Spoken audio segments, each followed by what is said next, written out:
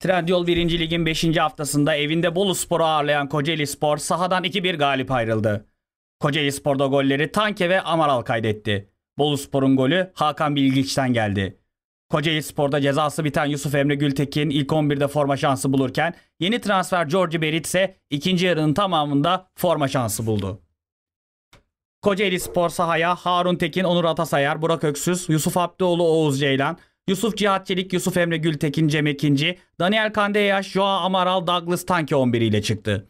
Konuk Bolu Spor sahaya Çağlar Şahin Akbaba, Nabi Olare, Onur Ulaş, Hakan Bilgiç, Ercan Coşkun, Oğuz Kağan Güçtekin, Kubilay Sönmez, Guy Michel Nandel, Adelbet Tayyip, Joel Engandu ve Furkan Demir 11 ile çıktı.